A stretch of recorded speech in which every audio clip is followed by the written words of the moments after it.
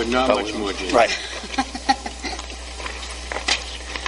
First item of business is the, is the approval of minutes for the executive session and regular session, May 18th. Can Take the appropriate motion. So moved. All in favor? Aye. Minutes are so approved. Second portion is public comment, and now is the part of the meeting where anyone can approach the committee,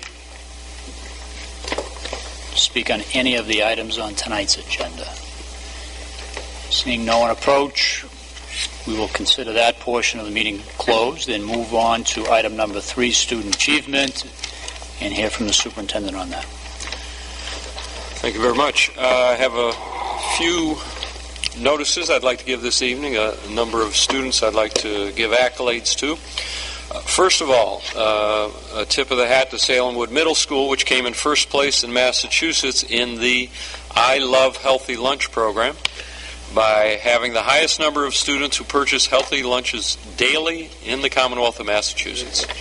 Uh, and due to this, one lucky student will get uh, two free Red Sox tickets for the June 19th game. Uh, and the student and his or her guest will get to go on the field while his or her name and school are announced as the official winners. So, congratulations to Salemwood Middle School. Uh, secondly, also congratulations to uh, Beebe School, the entire Beebe School community. Uh, Beebe School's uh, Tucatica Marimba Ensemble was rated excellent and number one at the Carousel Music Festival held at the Collins Center for the Performing Arts in Andover on Friday, June 5th.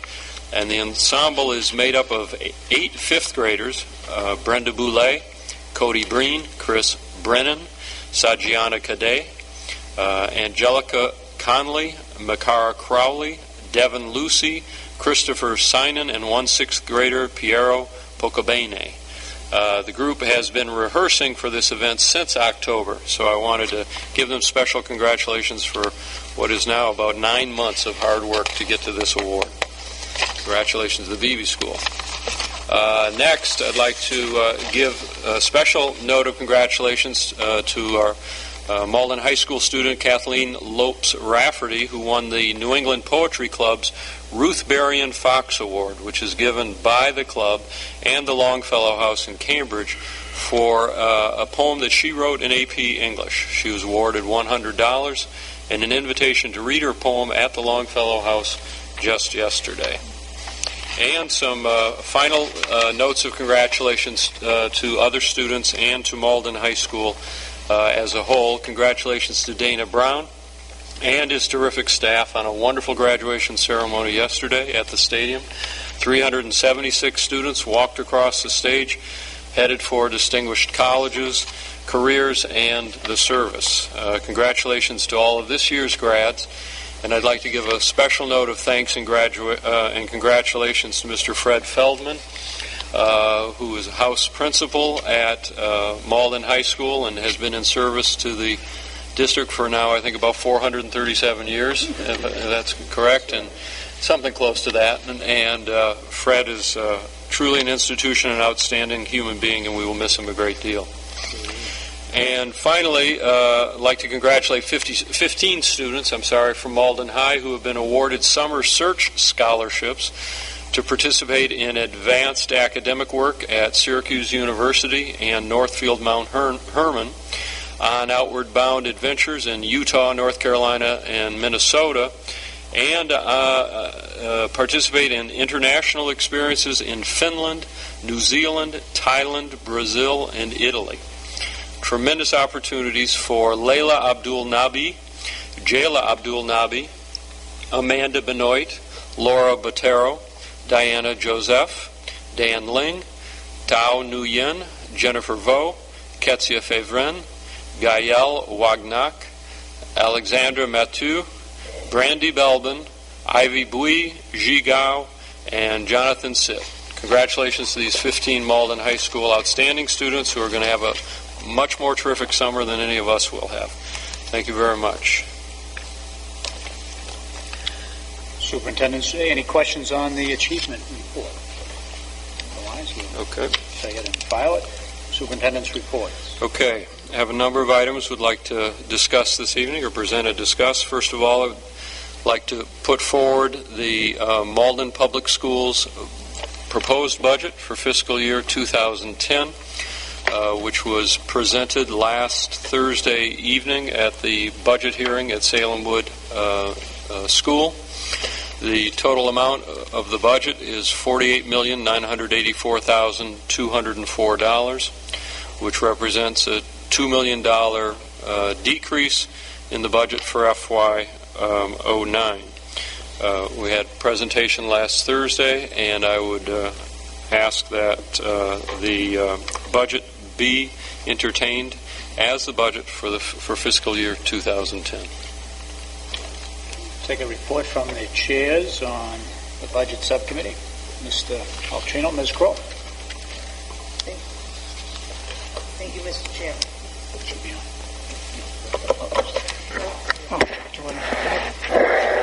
Thank you, Mr. Chairman. Over the last two months or so, in approximately six budget subcommittee meetings, all made public, as well as all the Monday meetings that are open to uh, all members of the school committee, we've deliberated.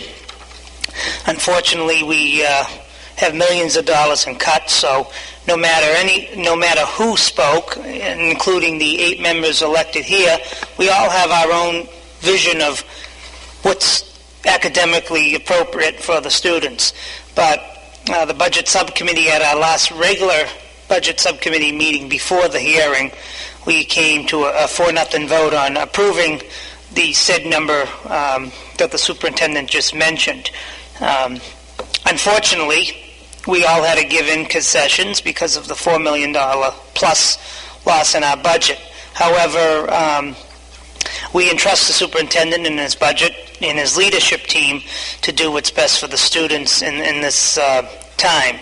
So I would ask uh, members of the committee to go on the motion that uh, Mr. Duffy will read for us in a little while, that uh, four nothing vote to approve the budget. So I want to thank everyone for participating, especially members of the public who had an outcrying of great numbers uh, coming to all of our subcommittee meetings, and uh, they should be proud.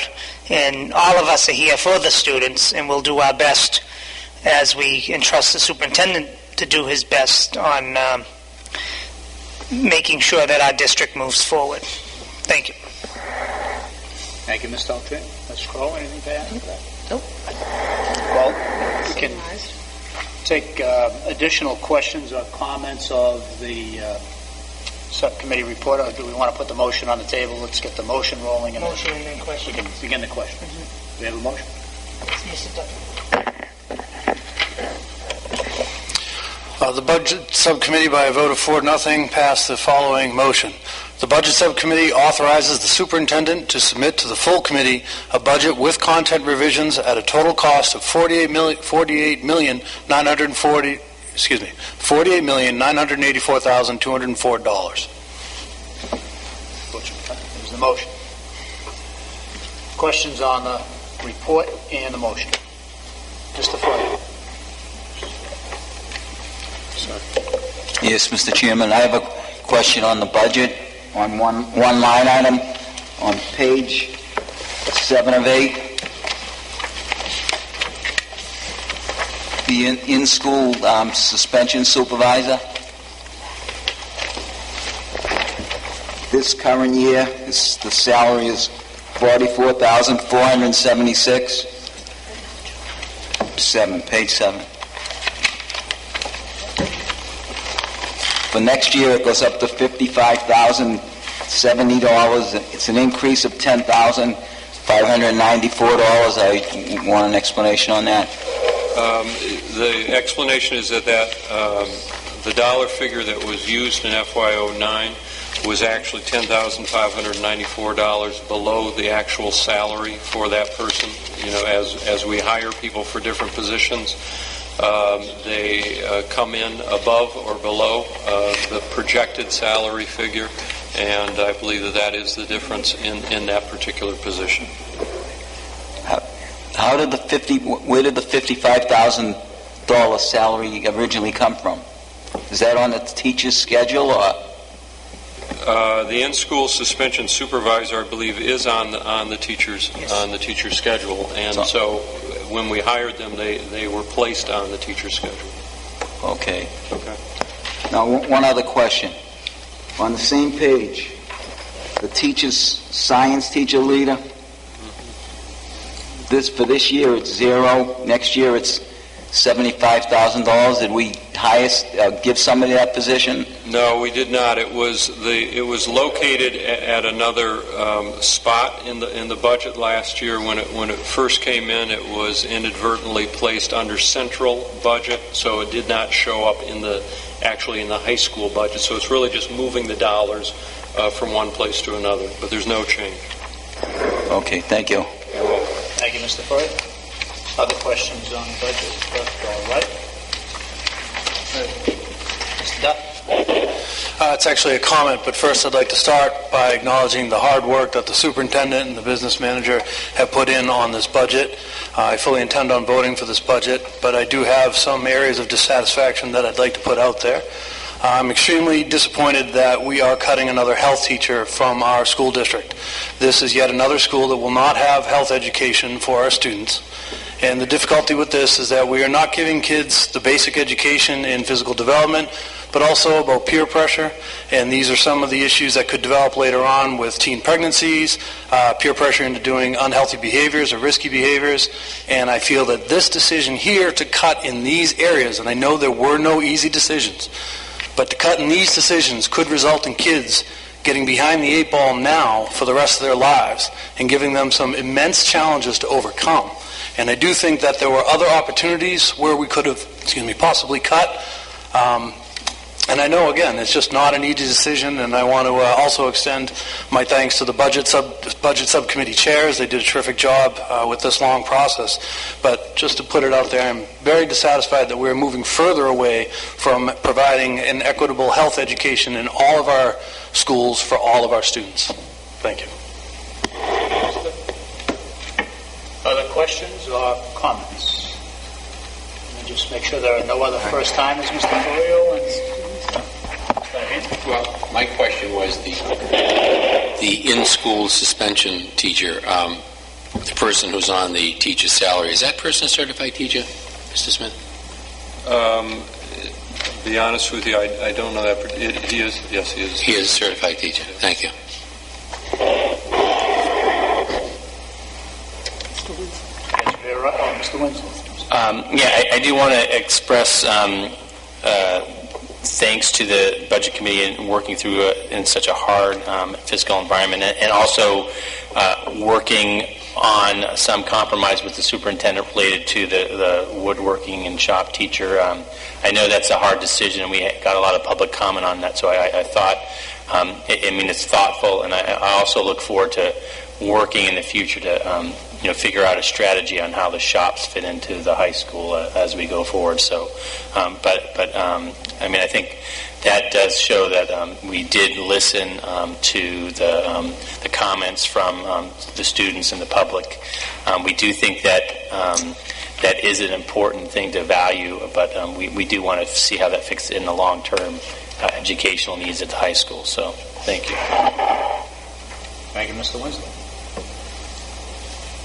Mr. Fredo. Uh, First of all, I I also would like to thank the Budget Subcommittee for all the hard work they did. But as you all probably know, I'm not too happy about the uh, wood shop .4 position. What I was what I was wondering is, are we going to be able to get somebody to teach the .4 wood shop, and and are they going to have health insurance or whatever? Do you have any ideas, um, Mr. Smith? Um, I certainly expect that we will have someone who's teaching uh, uh, that course. It is my understanding that uh, um, I, I really don't have an understanding. I don't know what Mr. Murphy's uh, inclination is at this point in time. Uh, I will say that the question of benefits did come up a, bit, a little bit earlier this evening, and uh, I think we can uh, assure whomever is in that position that benefits can be taken care of, though it would not come out of this budget, because this budget wouldn't be altered. It could come out of the, uh, out of the, uh, uh, the stimulus funds, uh, the, I'm sorry, the stabilization funds that we receive. One other question. I, I wasn't, I wasn't able to make the budget subcommittee meeting or the last school committee meeting, but what I wanted to know is, um, we had, somebody had mentioned setting up a committee, vocational committee, and I would definitely like to volunteer to be on that committee. Thank you. That would be great. Mrs. Rivera Rogers? Thank you, Mr. Chairman. Thank you, Mr. Croy. I'd like to echo what um, the other school committee members had stated regarding the hard work that the Budget Subcommittee has done. Um, I know it was hard choices, hard decisions made by the superintendent of what to choose and what not to choose across the board, even in the schools. Um, I also echo the concerns and also um, say thank you for at least some consideration for the um, woodworking class and the OCED classes that are being considered and support the superintendent's recommendation to go forward with a subcommittee to more or less revisit the whole program and what needs it offers to our student population. Um, hopefully, some additional funds will come in. Hopefully, some grant money will come in that maybe may assist with the health teacher that is in dire need through our district. Maybe Healthy Malden could come forward with something that may assist some sort of programs that could educate some of our students. Um, something will give for that health um, teacher. So, thank you, the Budget School Committee, for your hard work, and Superintendent and hopefully the um, council will support, and they will never give us more, but they won't give us less unless mon- um, a report comes forward that we have less money to work with. So, thank you. Other questions? Dockin? Thank you, Mrs. Rivera Rogers. Thank you, Mr. Chairman. Um, Also, just Thank one you, quick Chairman. question, um, clarification more than anything. Um, Page 11 of 16, number 6,000. The alternative high school, um, are we still, uh, will you clarify how that, we? it's 11 of 16. Um, We have it in the budget for 90,000 again this year, Yes. so are- have the plans changed from what we originally It will remain where, where it's located now. Okay, thank you. Thank you, Thank you, Mr. Chairman. Other questions, comments? Mr. Chair will make a comment. Uh, Number one, thank you to the committee members, especially Mr. Altrino Mez Crowe, for the good leadership on getting the system to the point where it's at, together with the superintendent's effort at rolling out a very lean and um, and uh, relatively great effort at trying to respond to the early numbers that we believe were available on the city side for funding. Um, It's probably maybe one of the only years, if the only year, that I will actually vote um, in favor of the budget, together with the entire committee. Um, It is a number that I will uh, submit to the city council for approval, and uh, I do hope that they will um, improve, approve in kind, although there is no guarantee. There's still a lot of deliberation that has to be done on the community side around local aid and the resources that are available to the entire city for the construction of a $130 million plus budget. But I do think this is a, a very good effort, and I, I appreciate the work of the administration and the committee members. The one caveat that I will uh, draw to your attention was touched upon by Ms. Rivera Rogers. We are anticipating, and I know that the budget here is built on the fact that there are um, the uh, Recovery Fund Act uh, monies that are anticipated flowing from the Patrick administration, and each branch of the legislature has, in fact, voted to release that money. And for Malden, it means approximately uh, $1.6 million in additional resources. Those funds do have to show up in order to be able to sustain this budget um, above and beyond what the uh, city uh, allocation ends up being uh, ends up being voted. So just keep that in the back of your mind, we- the expectation, and I think the reliability of the fact that they will come is uh, high, but we just want to make sure that uh, until the deliberations are finalized and at Beacon Hill, we won't know uh, that the money is in hand. I think there's a very good likelihood that uh, we'll be able to build a budget around it, so thank you again. Uh, In a very tough year, I think you've done some very good work, and hopefully next year we'll have better choices to make with, uh, uh, with better resources. But On the motion, a second for Mr. Duffy's motion to approve the budget as uh, recommended by the superintendent and the budget subcommittee. We need a second. Second. Second by Mr. Winslow. Call the roll on the budget motion, please. Can I just, um, can you just repeat that motion? Yes, ma'am. Bobby, please. The Budget Subcommittee authorizes the superintendent to submit to the full committee a budget with content revisions at a total cost of $48,984,204. Thank you. Mrs. Crowe? Yes. Mrs. D'Angelo? Yes. Mr. Duffy? Yes. Mr. Foil? Reluctantly, yes. Mr. Iavino? Yes. Mrs. Rivera Rogers? No. Mr. Altrino? Yes. Mr. Winslow? Yes. Mayor Howard? Yes. It's the 2010 budget. Next item. Thank you very much. Um, The next item uh, has to do with the uh, strategic plan, the long-term strategic plan for the district. Um, I wanted to update all of you on the progress we have made on the plan.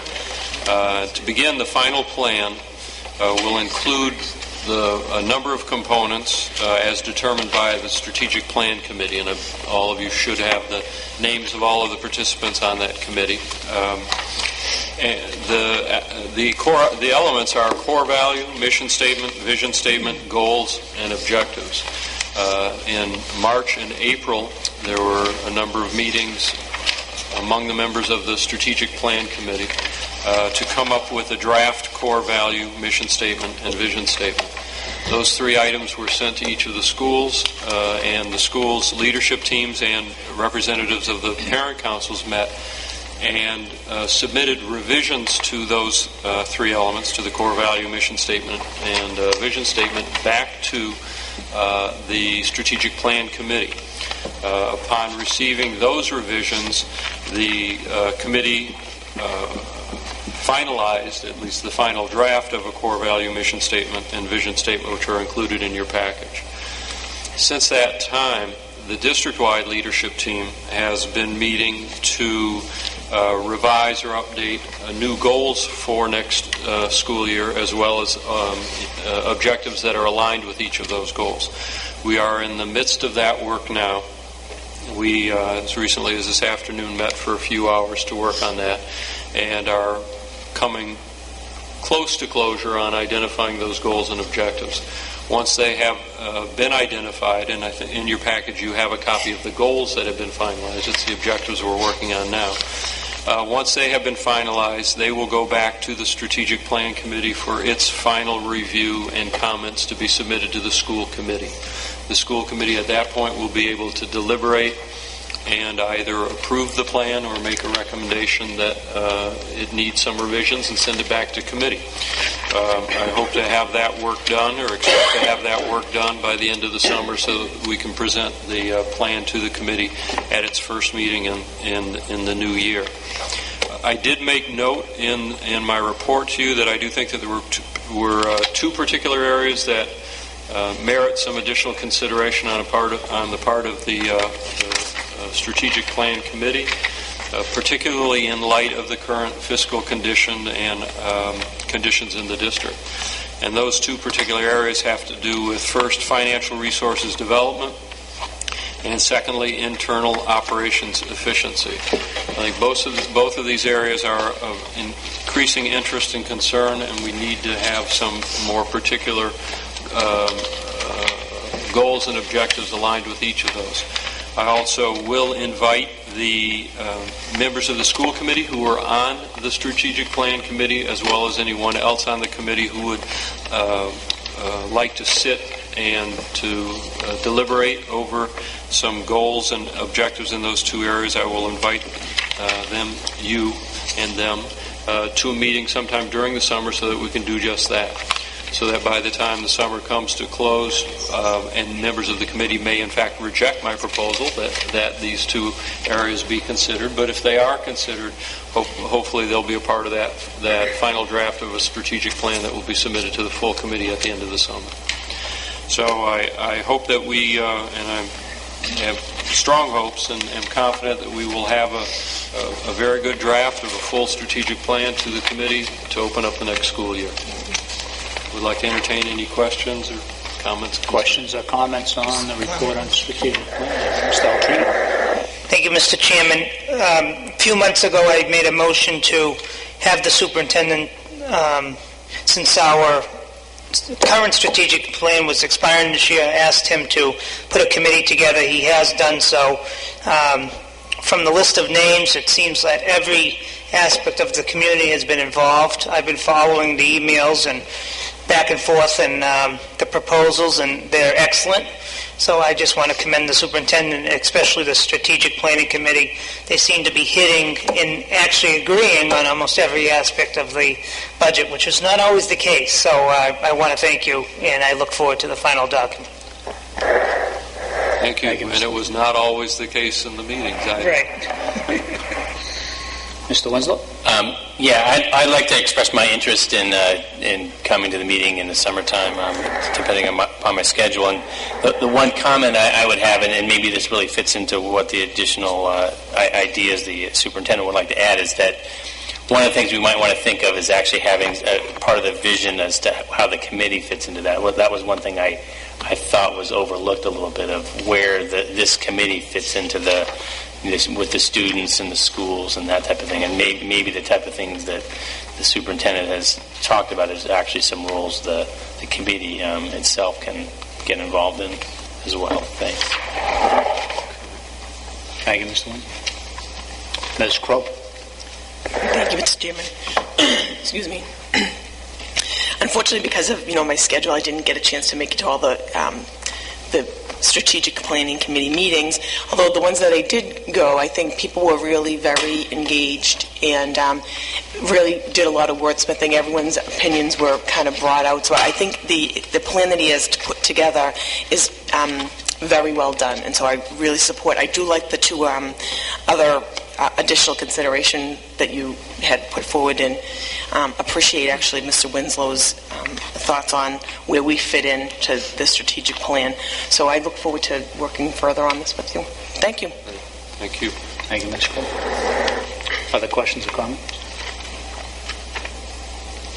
Chair would recommend that material that I sent around. I don't know if we got it all, but the Mass Inc. executive summary on 15 years of education reform. I think there are some very good points in there, especially in relation to strategic plan building, um, assuming some of the information is relevant to our current system and some of the points made. Next item.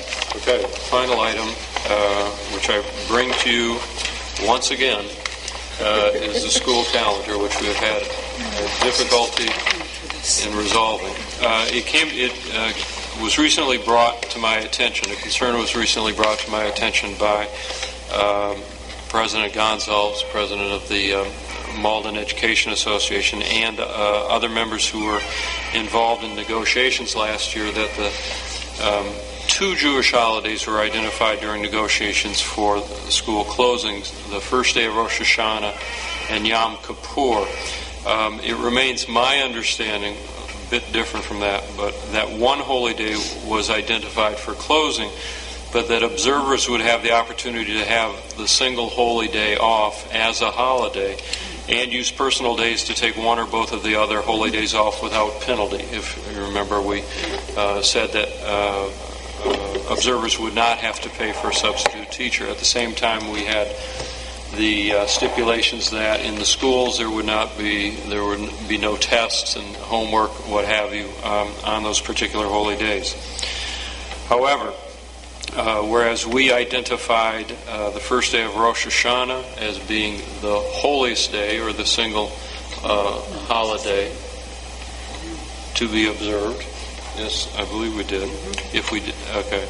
Um, after checking with a number of districts and also with uh, Ms. Gonzalez, it was uh, we were informed that Yom Kippur is the highest of the holy days and should be the single day that is observed. So, uh, regardless of where we started and where I would like to end, is that we do observe Yom Kippur as our as the holy day that we treat as a holiday uh, in the Malden Public Schools.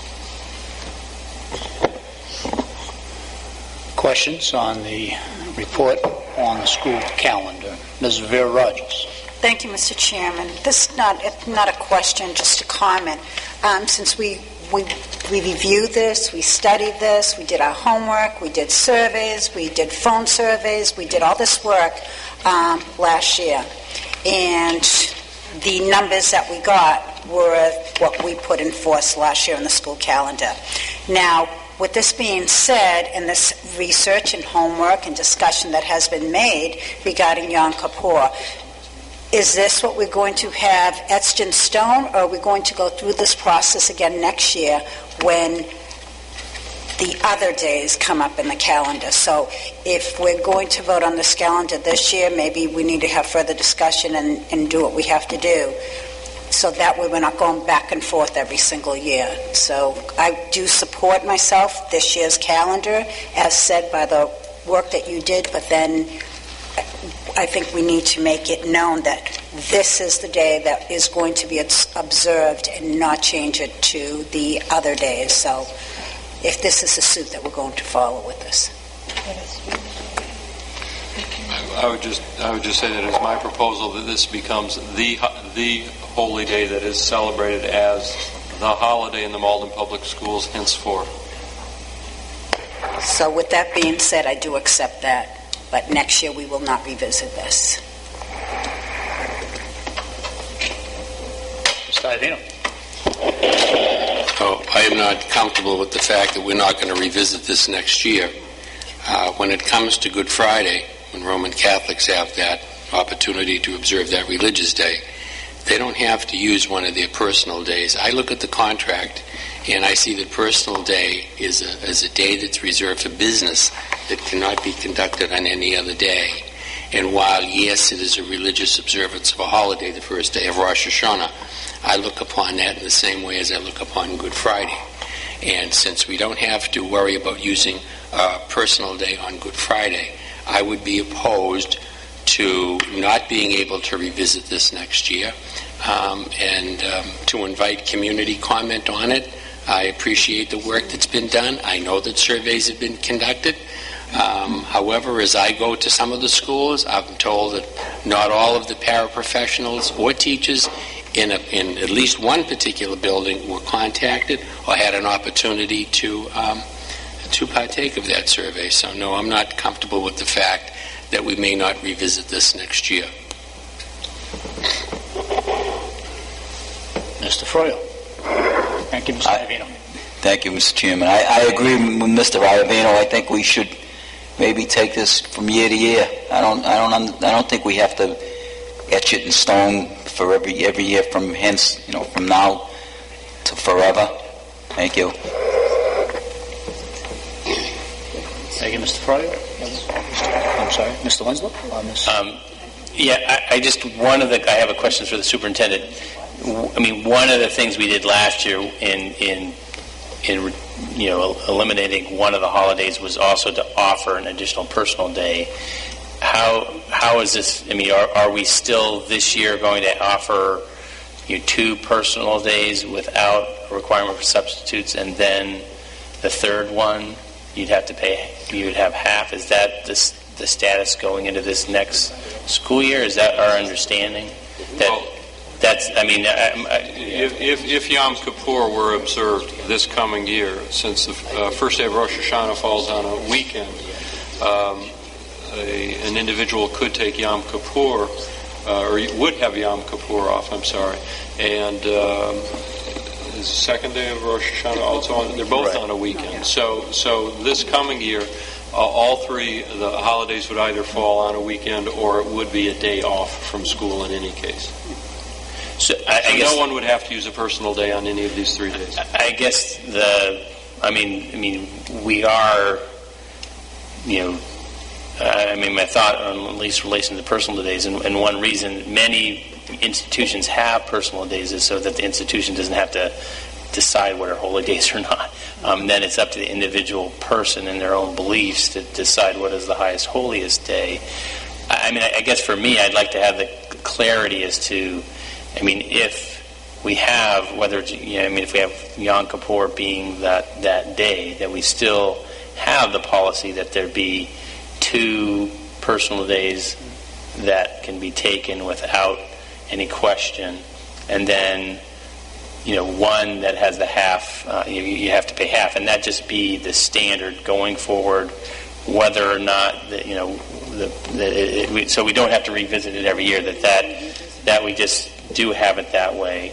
Um, I mean, that would be, be my preference, that, um, that, you know, it, it is a challenge. I mean, I, I looked at, you know, school districts across the country are struggling with this, and one way to handle things like this going forward is to have personal days that people can take off without question, and that, that there is this flexibility for taking off the religious holidays. I, I think our, our conclusion on Good Friday was that we simply could not operate the school system effectively because we couldn't get enough substitutes to cover for the teachers. So I think there's another reason there. But we could cover these other holy days um, if people do take personal days off. So, um, so my preference is along the lines of um, Ms. Rivera Rogers is to, if we're going to say Yom Kippur, uh, and at least I, I did see that in Rhode Island, the, the council of the, the the Jewish council there did say that Yom Kippur is the highest holy day. So there, there- you know, I didn't see something comparable in Massachusetts, but at least a you know a, a Jewish religious body is saying that. Um, if that we recognize that as the highest holy day, that um, that that be standard going forward, and we and we do not revisit this each time, and that we keep our that as our the holy day and and the personal date fixed from going forward. That would be my preference. So.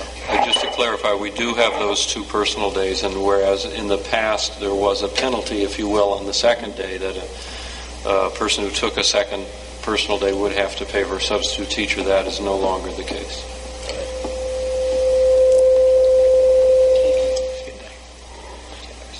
Well, before, Ms. Abbey, before I get to you, let me uh, cover some more members of the committee, if you don't mind. I thought I saw Ms. Thank you. Ms. D'Angelo's hand up. Thank you, Mr. Winslow. Thank you, Mr. Chairman. Um, As you said, this year we don't really have to do much because the other two holidays are on the weekend. But when you say that there's no penalty, financial penalty to, for a personal day, does that include all staff or just teachers? Does it include paraprofessionals, um, clerical staff? Yep, I'm sorry.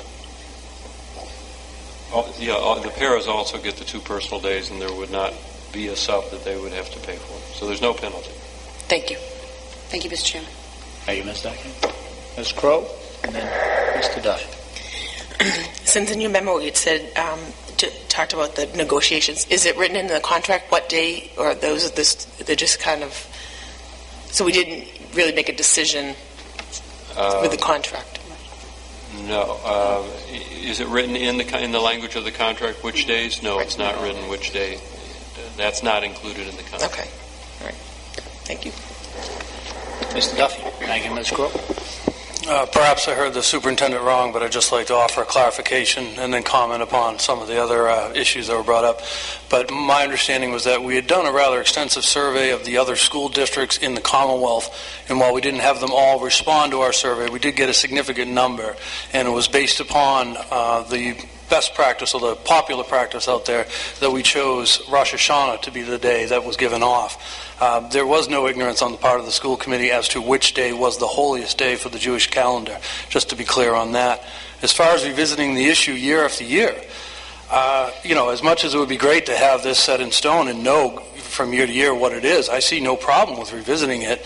In a district as diverse as ours and with a pluralism of religions and countries of origins, there are going to be issues that come up every year that we need to think, for, think about in regards to the calendar. So I think we should remain open to that uh, possibility and revisit this every year. And just last point, I'd, I'd like to thank uh, Ms. Gonzalez for bringing forward the issue about Yom Kippur being the day of choice by a lot of the teachers and uh, paraprofessionals in the district, and I think it shows uh, great intelligence on the part of the school committee to adapt to this new input and change the day. Thank you. Thank you, Mr. Duffy. Ms. Zabra. Um, I agree with Mr. Duffy, and also I was wondering. So next this year, Rosh Hashanah doesn't fall falls on the weekend. He says. So next year we wouldn't get any either day off if it does fall on the calendar. Only Yom Kippur. Okay. So I'm Jewish, and I know that you don't get homework. We, that if, if you do celebrate the holiday of Rosh Hashanah, that you don't get homework or tests, but you still have classwork that you have to make up, so it still leads you to a disadvantage. So I would just like to say that I think maybe we should reconsider having one of the days of Rosh Hashanah off. That's just my idea. All right, thank you. Thank you.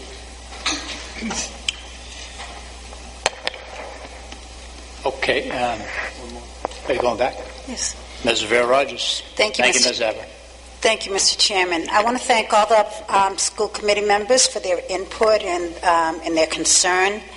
Um, I do appreciate the fact that we want to revisit this every single year, but as we discussed during our process and all our meetings that we had, if we keep on going back and forth on holidays, it defeats the purpose of us honoring, just offering one holy day um, and having it. That's how come we just had our discussion regarding there would be no homework assignments being given, that you could have to use your two personal days. Everybody has the right to use their holy days to their own preference and whichever. We have many, many observations of different holy days. So we were just really focusing on the fact it's, it's about the students being in class, it's about addressing their their learning, everyday learning. We're not focusing our school calendar on on um, observing everybody's holy day. Everybody has the right to observe, but you have the right to observe um, on your own time. Um, I can't, you know, that, that's the reason we were talking about the loss of education on a given day, and that's why Good Friday is on that calendar permanently because of the loss of education. There wouldn't be enough staff to cover the day for the students. So um, I am willing to revisit this every year, but I think um, we need to focus on student education. Thank you. Thank you, Ms. Rivera Rogers. Um, well, from the chair, it seems as though we are visiting this topic every year, so um, I don't know why we would break our tradition next year, but um, I do have a concern, though. Number one, we voted a policy. There's nothing wrong with revisiting the policy, thinking that maybe we missed the target on the policy, but I do agree with Ms. Rivera Rogers. We should either decide once and for all that one of these days is the most important day to the Jewish faith, to the best of our, our ability to be able to do that, and um, and be able to know that in each succeeding year that the system will recognize that um, very date. Um, I, for one, uh, I'm hoping that what, what, not what we're talking about is um, is uh, holy day shopping so that when the calendar rolls around next year, we're taking a look at which one shows up on a school day, and uh, we intend to change. I, for one, uh, am not in favor um, of that kind of reconsideration on a yearly basis. Um, I think we made a good faith effort to vote the uh, correct uh, and most appropriate day last year. Uh, I'm more than glad to get the additional information, as Mr. Duffy said, and uh, make sure we reconsider and try to get it as right as we can. And I think, by the way, we do need a motion and a vote because it was a policy decision that was made. So we should take that vote in reaction to this information this evening if we're going to change. But I, for one, uh, for the point that if we're going to make this change, this should be it. And each year, the calendar should have this specific date uh, built into it.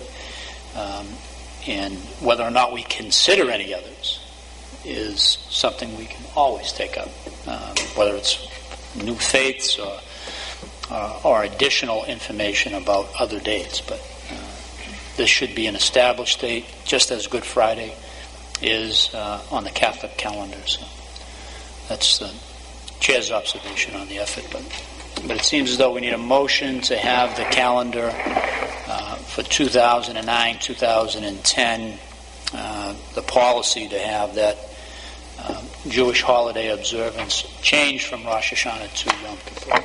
Mr. Winslow. Uh, Right, yeah, I I will make that motion that the, um, the school calendar, that it be the policy of the Malden School Committee, that the school calendar reflect um, and honor uh, Yom Kippur as a uh, day, day of no instruction.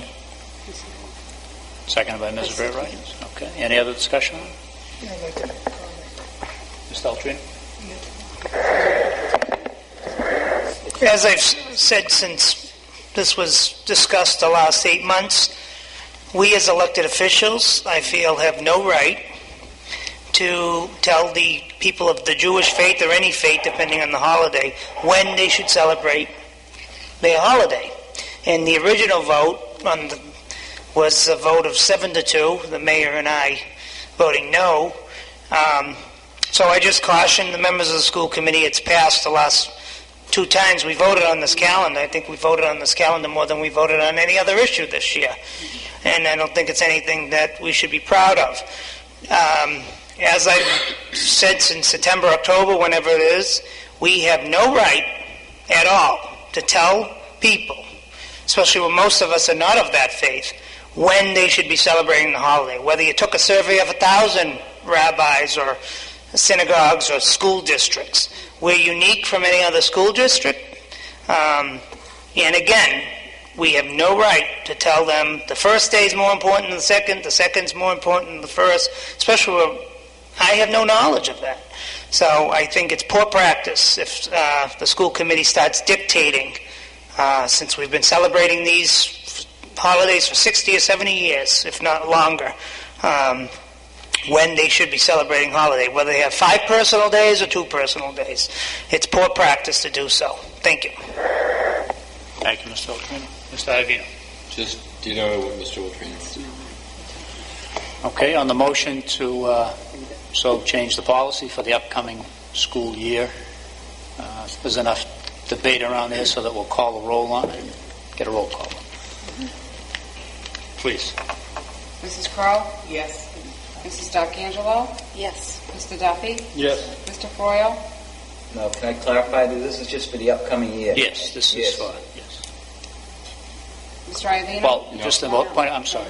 It's it's change the policy. Changes the policy. The policy can always be amended by the appropriate action in the future, but this makes the Change policy. my vote to no. Mr. Iavino? No. Mrs. Rivera Rogers? Yes. Mr. Altrino? No. Mr. Winslow? Yes. Mayor Howard? Yes, so changed. And the calendar will be so built around it, Right, yes. so can we go on the calendar? Uh, We have the, so that takes care of the issue of the uh, day, the particular day. Um, We have the calendar before us as well, and it is in your packet of information. Any questions on the remaining dates of interest in the calendar? Otherwise, we can take a motion and act upon it, but. So moved by Ms. Except the Rivera Rogers. 2009. Seconded by Mr. Winslow. Any discussion? All in favor of the calendar? Roll call, Mr. Chairman. A roll call on the calendar. Thank you, Mr. Mrs. Crowe? Yes. Mrs. D'Angelo? Yes. Mr. Duffy? Yes. Mr. Froyle? Yes. Mr. Iavino? Yes. Mrs. Rivera Rogers? Yes. Mr. Altrino? No. Mr. Winslow? Yes. Mayor Howard? Yes. calendar finalized until a new one is voted. Hmm. That'd be the next meeting. The next item.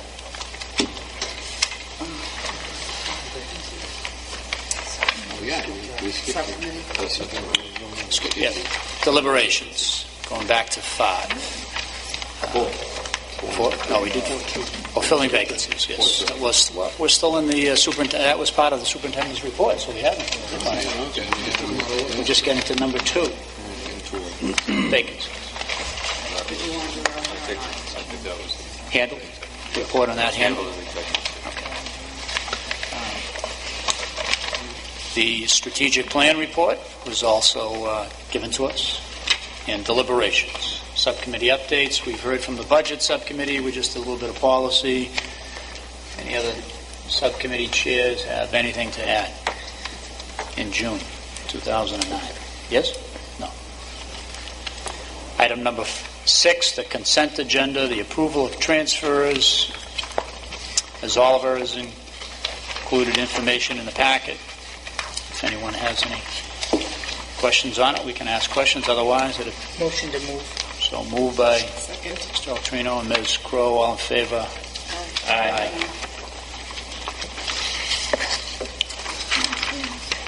Meeting schedule as well as the calendar is uh, included there. So the clerk has given you an effort to put together some meeting dates for the 2009, 2010 period. We can take it up now. We can vote it next uh, at our next meeting before we leave.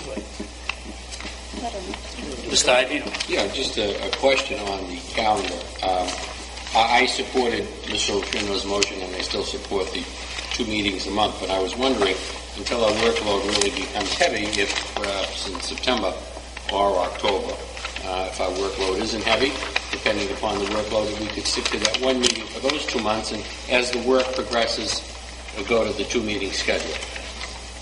I don't know how anybody else feels about that. Mr. Chairman. Mr. Altrino?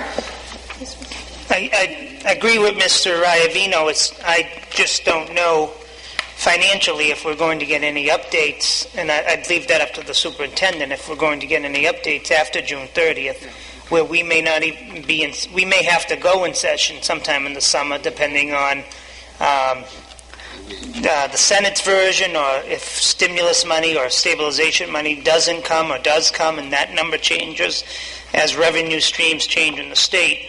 Um, yeah, I, I think next year is going to be a very shaky year. Um, so it's again, it's up to the committee. I think um, two meetings a month, the last couple of months have done very well for us, um, especially with the public comment. And we may might see a lot of changes next year, depending on the final number and depending on the decision we made um, on the budget. There, there might be some problems um, that the superintendent may have to report on and get approval from the school committee because of the number that we voted. But I might be um, on, on the lone one on this one, but I would, October only has one meeting as uh, on Schedule B, October 19th. So um, I would tend to see how the summer deems well for the superintendent to notify us on the 14th of September, and we can take it from there. But um, it's not a policy, therefore, if the school committee in the middle of the year decides that they don't want two meetings a month in January, then they have every right to do so. But I would stick to uh, Schedule B as noted, especially for next year. Thank you. Thank you, Mr. Other questions or Um, comments on the, I, I do know that, uh, oh, sorry. Mr. Winslow? Okay, yeah. Um, September 28th is, is Yom Kippur. I, I don't know if, if, whether we'll be meeting after sundown on the 28th, which, because the holiday runs from sundown to sundown, so we, we, we may, uh, I, I guess we'd have to find out. I don't know. I- Is that a conflict on the 28th or not? The 28th? All right. So that would be an amendment to Schedule B. We'd have to change the date to the 28th. Sharp eyes Mr. Winslow on the calendar. Thank you. There's one at least issue of conflict. Other points, uh, questions on Schedule A versus Schedule B? Uh, Chair will provide one point of information regarding meetings that have to be held in reaction to what may uh, be final figures that come out from State House. We will always consider calling a special meeting, if necessary, over the July and August months. So, so That's always an option that we have available to us. Other questions or comments on the two proposed schedules? Yes, sir. Mr. Duffy. Briefly. I'd just like to speak in favor of Schedule B. I do believe that it's very important that we meet twice a month. I would love for the day to arrive when our workload is alleviated enough that we could meet once a month, but uh, for starters, we should keep with the two a month. That way we can tackle everything as it comes up.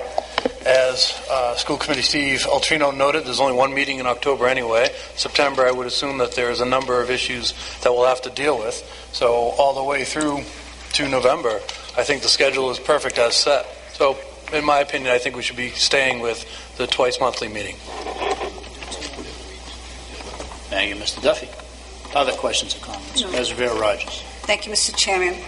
I have to agree with the other um, school committee members, Mr. Altrino, Mr. Duffy. Um, Since we went, well, since we put into practice this year as a school committee to meet twice a month, we should just be consistent and continue on with that. And if we have to meet more, fine. If we have to reschedule something because of circumstances, so be it. But Schedule B. Thank you.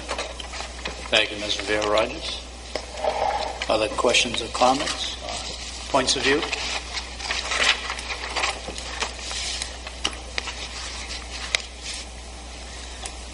Is this something you need a motion on? Well, we do, it- we do want to uh, set the schedule, so that we'll be- so we can always uh, defer action until we get back here in September, but depending upon how much lead time people like to have in scheduling their own personal calendars. The superintendent, I was just going to say, it's going to obviously need to be revised in any case because of 28th. the, uh, the 28th. Um, If you want to have the frequency of meetings that you've talked to in Schedule B, that might be moved to October 5th, which will then allow um, alternate, right, alternate Mondays um, through uh, September and Oc- October. You can hold it to the next, hold it to the next meeting. You can also Let's hold it until the next meeting and get some reaction to it. And we'll vote our meeting schedule at that point.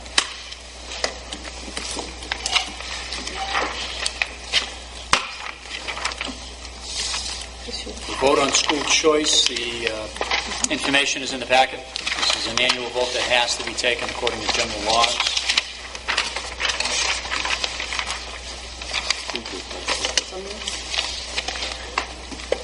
Moved by Mr. Iavino, Second? seconded by Mrs. Rivera Rogers. And To not, is, The vote, the superintendent's recommendation is to not vote school choice. To vote the superintendent's recommendation. So you're voting yes on the recommendation, which is uh, a negative vote on the statute. So we would not be opting into region-wide school choice by voting the superintendent's recommendation. Just a point of clarification. Mr. Altrino. How many years um, have we voted against school choice? It has to be many, correct? Every, Almost every year since, since it's been enacted. since it's been enacted. 1991. Okay, thank you. Have we ever considered, have we ever considered, um, okay, if we, if we didn't have, if we had school choice, have we ever in our district considered having school choice? Um, Well, Would we it be consider it more every year. staff? I know, not, and clarification, if we were open to other students coming from other districts to our, to our schools, would it be additional paperwork? Would it, would it make it difficult if we had, if we were open? Have we ever discussed that, uh, you know, as Is there ever... the option? If- Are you asking, has I'm there ever been an in-depth study on the Yes. consequences of voting in the affirmative for it? Correct. That I can recall, no. Doesn't mean there shouldn't be, but I don't, don't know how much information has been uh, put together to try to draw out the pluses and the minuses. Other than it, on its face, my guess in, you know, the superintendent having a much longer lead time in uh, education in Greater Boston, I mean, my sense is that it would require an enormous amount of tracking, uh, students flowing in and out of, in and out of the district, uh, transportation needs that attended, you know, my guess is Well, we It- have them floating. it's work. Right. Well, no- in our own district, we have them flown in and out. We don't have it as a policy choice. Um, So it probably gives you some concerns about trying to target your population each year. I don't know by dates by which people have to notify you that they intend to, if you're in a school choice plan, uh, notify that you that they intend to opt into your district. Uh, Well, th- th- there is a a huge amount of work that would be associated with it, but I think, I think mo- most, most importantly, right off the top, is we would begin to displace Malden students from their schools of choice. Uh, Because we are so filled in each of our schools. We currently have students, or parents of students who come into the district and they want to choose one school, but it's closed to them just because it is full. Were we to uh, be engaged in this, uh, we would in- increase the possibility that that would happen to additional Malden students, residents. Okay, but if there were seats, if there were seats available, say there's seats, okay, Malden students first, and seats avail, avail, like transportation, if there's available seats, we fill the seats. You know, is, and if we got reimbursed from that school district, we're talking reimbursement, it wouldn't be you just walk in and register and come to our schools and we provide, you know, the, the educa- educational dollars. But if we were reimbursed by the said school district, because as you know, and I think all districts suffer through students that belong in another district come to, go to another district, but without being compensated. So if it was done with compensation, that would be more open and people wouldn't be trying to go to a school that they want to go to um, with a residency affidavit and um, not be reimbursed. Understand?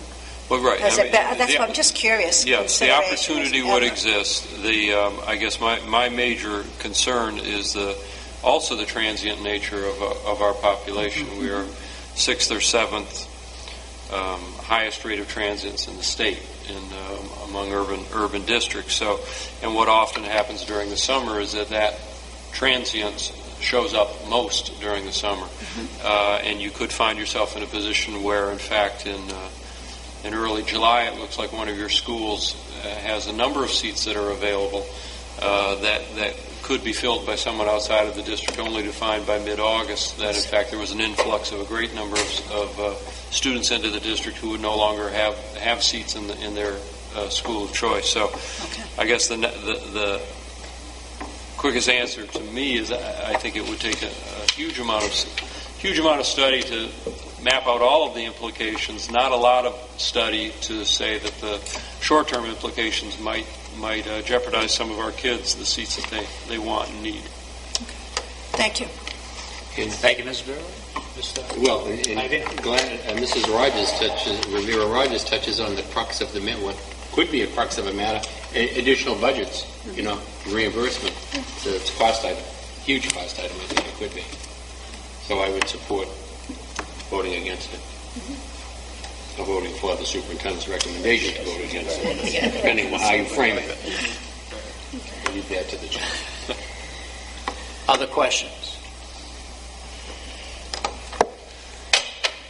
The superintendent recommends a negative vote. You're voting yes on the superintendent's recommendation. Correct. I'll make that motion. Motion to adopt the superintendent's recommendation. Take a roll call on the vote.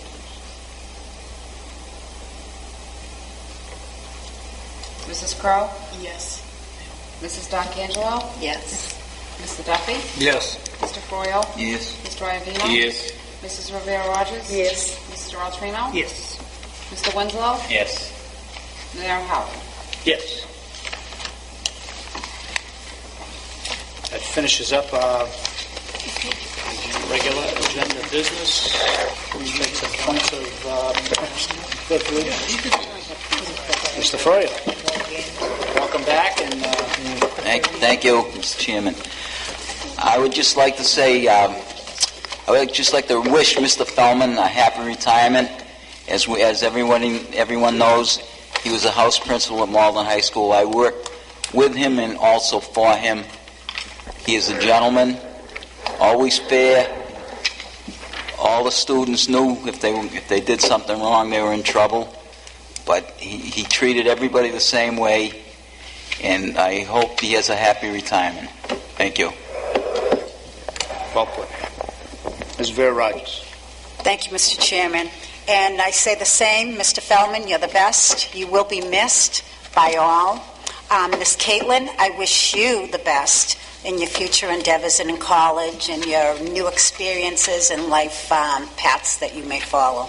And congratulations to the class of 2009.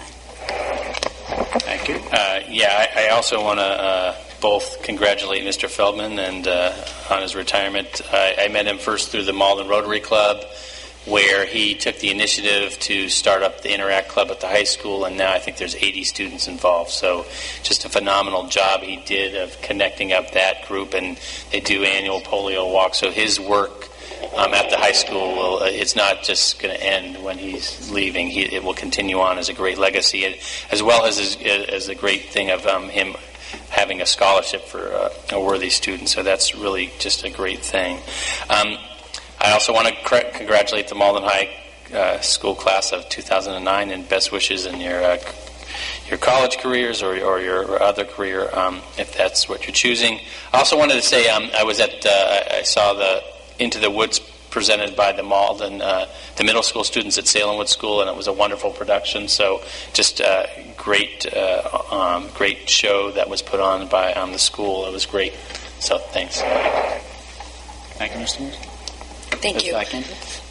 Um, also, congratulations to Mr. Feldman and the class of 2009. And today was um, Paraprofessional Day, so congratulations to all the paraprofessionals. You do a great job. Thank you very much. Thank you. Ms. Crowe. Thank you, Mr. Chairman. I just want to remind everybody that we'll be having our annual Flag Day ceremony on Sunday, um, the 14th, Flag Day, excuse me, at 5 p.m. at Bell Rock Park, and we'll be featuring Malden High's band and the chorus. So, thank you very much. Mr. Altrino. Thank you, Mr. Crowe. Uh, Not only do I want to thank Mr. Feldman, but all those members of the Malden Public Schools, faculty, staff, and um, any employee uh, happy retirement, or those that are moving on to other districts. We wish them well and thank them for their service. Thank you. Mr. Duff. Yes, sir. Uh, As well, I'd like to congratulate all of our graduates. Whether you're going on to college, career, or service, I wish you the best of luck, happy and healthy. I'd also like to say congratulations to all of our retirees. Uh, there are many out there that we all know, Mr. Feldman, Mr. Paul Abear. Uh, not to single out anyone in particular, but as the parent of a kindergarten uh, student, I would like to spe- send special recognition to Miss Judge of the Beebe School. We all remember our kindergarten teacher because of the magic they bring, and there are none more magical than Miss Judge. Again, two colleagues from the Lincoln School. I go back with Mr. Feldman more years than I care to remember when he was in 206 and I was across the hall in 202. Uh, he's beyond a gentleman. He is dedicated. He's professional. He's just a kind, kind-hearted man. And anybody that knows the story of a young lady who was almost killed in an auto accident, um, very tragically, when she was uh, in the seventh grade, and the work that Mr. Feldman did in helping really to save her life. Uh, it's a story that will bring a tear to your eye, but it's a story that Fred doesn't go around telling, but he just he lives the example of, of just a wonderful human being who's got a heart of gold and there may be somebody there that will be replacing Fred, but it's going to be hard uh, to do his job. But it's going to be very difficult to replace him and to, to fill the shoes that, that that walk the corridors of the Boyle House for these many years. He's just a tremendous guy, along with Paul and Mary, a colleague from the Lincoln, and all of our retirees, and a wonderful job and congratulations to the class on how well they conducted themselves yesterday. What a wonderful group of young men and young women who uh, did the city of Malden and Malden High School proud. Thank you. Mr. Iadino. Not much more the chair can say about those things. True professionals, Mr. Feldman in particular. I want to thank the bands for participating in the Memorial Day exercises. They uh, each year do an outstanding job. The uh, youngest band, um, middle school band, and the high school band. So we thank them for taking the time out of that um, holiday weekend to help the community recognize the contribution of those who served in the armed services. Seeing no other points of business, we'll adjourn till the next meeting. Motion to adjourn. So moved. All in favor? Aye. I didn't Yes.